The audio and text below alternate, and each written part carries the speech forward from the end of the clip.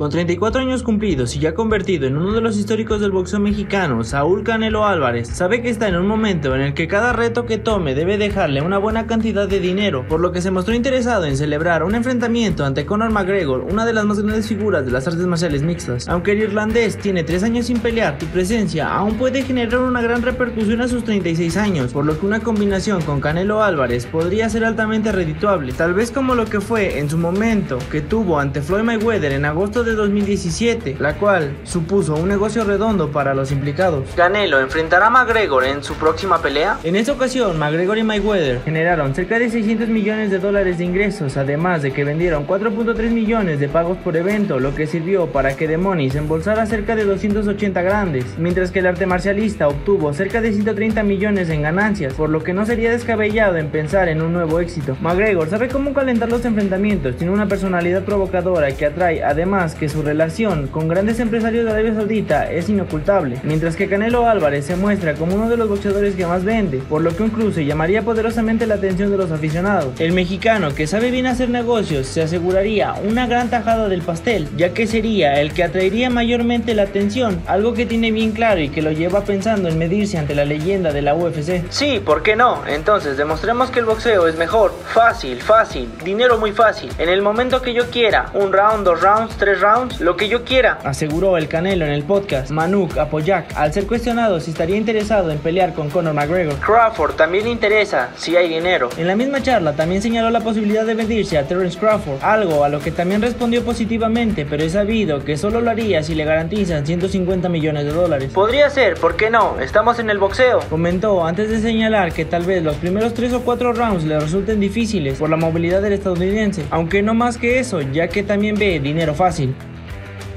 Si te gustó el video, no olvides dejar tu like, activar la campanita de notificaciones y suscribirte para estar al tanto de lo que pasa en el mundo deportivo.